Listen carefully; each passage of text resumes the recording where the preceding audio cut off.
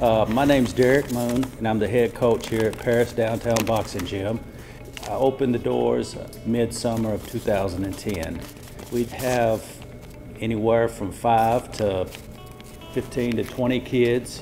We go Monday through Thursday from 5 to 7.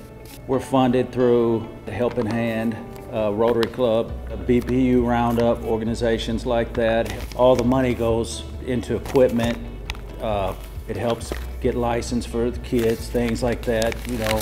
Uh, we, we're more than just a gym, you know. We, if kids need shoes, if, if down to a toothbrush, you know, what, whatever, you know, it's, it's all about giving back. And, you know, um, I've got kids that have been with me since they were seven years old, like Cam'ron, Cuz, Nia, you know, they've, they've all been around since they were very young.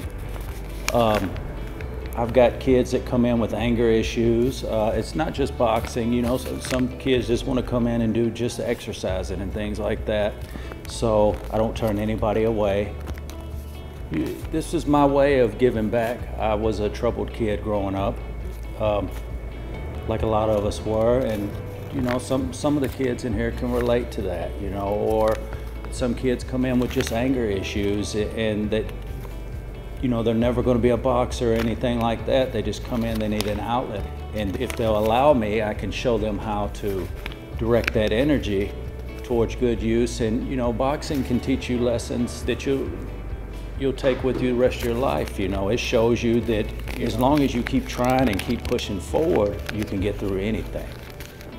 You know, they, some can't believe that, you know, we do it for free or give so much time and not want things in return and stuff. And it's not about that, you know. If if if I can show a kid, you know, and a kid can be successful in life, that's that's all I can ask for, you know, or show them. And I've had kids come in that the lessons didn't stick, and then they, you know, some come back later on in life, and I've had them come up to me and say, "Man, that really that that helped a lot," or "What you showed me," or "I wished I would have listened to you."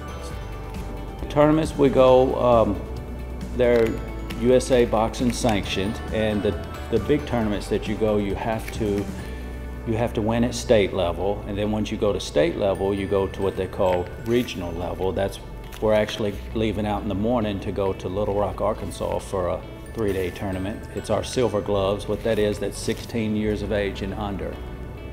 I've got three kids I'm taking, DeMarcus, Jalen, and Cam'ron, and they've got to fight at, at regionals. If they win at regionals, they get to go to national level. And then if you win national, nationals the final goal.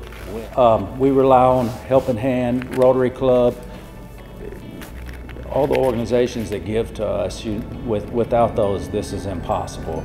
I've got kids in here that want to be professional boxers when they grow up, you know, and, and things like that. That that wouldn't even be a, a dream of theirs without that.